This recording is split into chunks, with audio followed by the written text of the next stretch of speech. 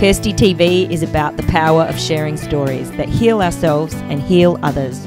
My guests share their most intimate stories and lessons learned along the way.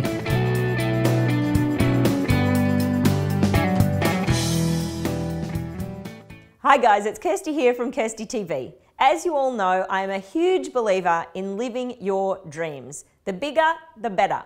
And I've interviewed some amazing people who have lived out their biggest, boldest dreams, and they have some great insights for all of us. I love Renee Lawless's take on rejection and saying no. And if you you have to believe enough in yourself that this is oh, this is not rejection is not a no. It's a not now. Yeah. I booked. I auditioned for Wicked, um, but I didn't get it till exactly one year later. And they were saying not now today, but maybe tomorrow. And one year later was my tomorrow. Stedman Graham, Oprah's Boof, BF, BFF, you know what I'm trying to say, Oprah's main squeeze. He had some amazing insights to share on the red carpet. You're always dealing with challenges, so that you know it's not so much what happens to you, but how you respond to it. So it really is about controlling the way that you think. Yeah.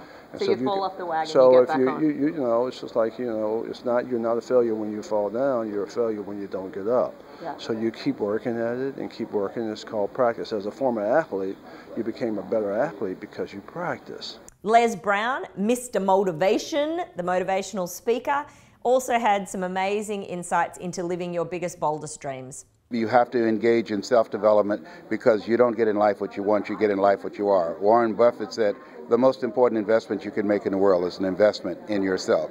Here's a guy that has billions of dollars in real estate and the stock market, but he said you've got to invest in you. The next thing is you have to continuously expand your skill set so you can stay ahead of technology and cheap labor abroad. We're going through a period of creative creative destruction, and so things are being created that's destroying jobs, and you have to create your own job.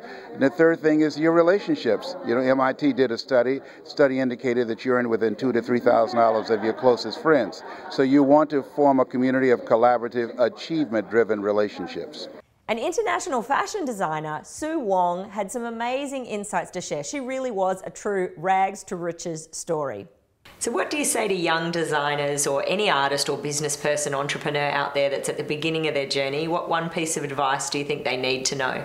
I think, you know, you have to have commitment. You have to really, you know, be able to sacrifice yourself to your art if you are an artist. So, is there anything you would do differently? Knowing what you know now, is there anything you'd change?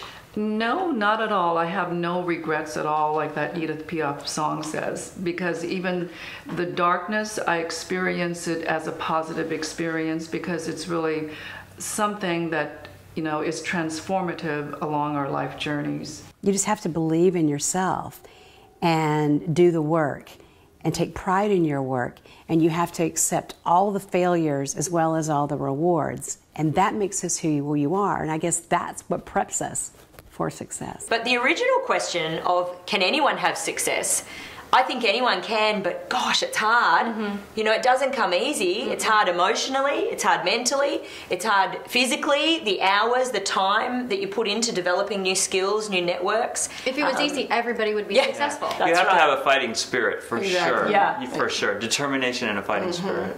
Well, as always, so much to say. I hope that you have that fighting spirit and you go after your entrepreneurial dreams because I think we all agree that anyone can do it if you put in the time to climb your mountain and have that resilience to back yourself and follow your dream. I look forward to hearing your posts and comments online so that we can continue the conversation and we'll see you next time. So continue watching by clicking the play button on any of the screens below for the full interview and living your dreams with actress Renee Lawless. Be motivated by Les Brown, inspired by Sue Wong, and empowered by Stedman Graham. I'll see you soon, and remember, sharing our stories heals ourselves and heals others. I love Stedman Graham, yes, Oprah's BF. F? No, the BFF is the best friend, right? Not the BF. Should the beef be the beef? The beef is the beef. you know what? You know what I'm trying to say. Oprah's boof. The guy who supplies Oprah's beef. Oprah, the guy who supplies, supplies Oprah's beef, the beef, yeah, the beef guy. Anyway, Stedman Graham, um, Oprah's boof, is um, ha- actually has something really good to say, unlike me. So let's listen to him. Um, you want to try Stedman again? Get your shit together.